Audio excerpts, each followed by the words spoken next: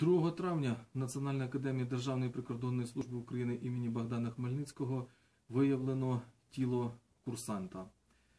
Виявив його колега, курсант, який стояв днювальним в одній із спортивних кімнат. Попередньо є така інформація, що повісився курсант на тенісній сітці в спортивній кімнаті. Курсанту 9 травня мало виповнитись 18 років. Курсант родом з Херсонщини. На місці події працюють слідчі військової прокуратури на чолі з військовим прокурором гарнізона.